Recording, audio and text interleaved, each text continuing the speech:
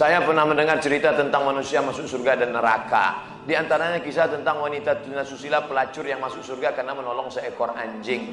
Kisah seorang yang masuk surga tapi belum pernah sholat dan sujud orang masuk surga dan neraka karena seekor lalat. Pertanyaan saya, apakah saat ini sudah ada umat Nabi Muhammad atau manusia yang sudah berada di surga neraka? Bukankah manusia akan masuk surga neraka setelah hari kiamat?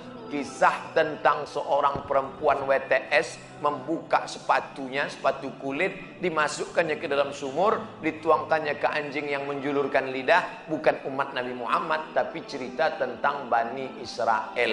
Allah mengampunkan dia dan dia akan masuk surga. Apakah di surga itu sekarang sudah ada orang di dalamnya? Nabi Muhammad dulu masuk ke surga untuk apa? Meninjau-ninjau, menengok-nengok.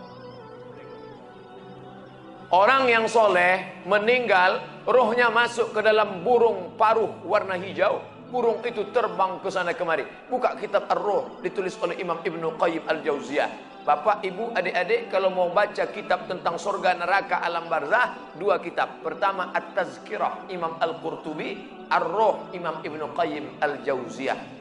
Ada orang-orang dibawa singgah ke surga jalan-jalan. Ini pemukiman, real estate, rumah mewah nanti akan ditempati 1 Januari 2018. Tapi sebelum itu orang boleh jalan-jalan nengok survei-survei dulu. Makanya orang mati syahid wajahnya senyum. Kenapa orang mati syahid wajah senyum?